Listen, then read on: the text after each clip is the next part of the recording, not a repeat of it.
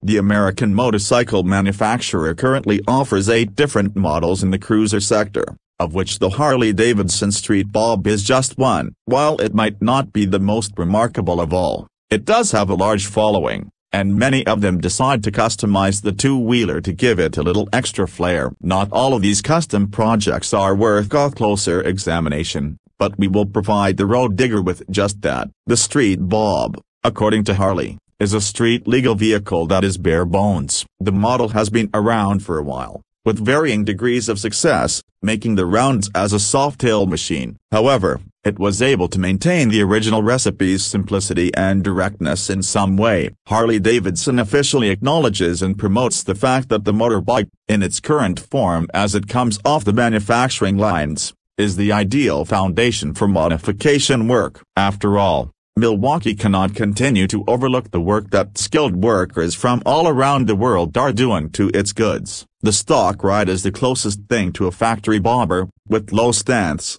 upright riding position, and midfoot controls. Furthermore, just like any factory bobber, this one is also up for customization. Many custom workshops exist that specialize in creating new designs and forms for the street bob but few are as skilled as the German team behind Thunderbike. They have released a great deal of bobbers throughout their more than 30 years on the market, and a substantial percentage of them are based on this specific model.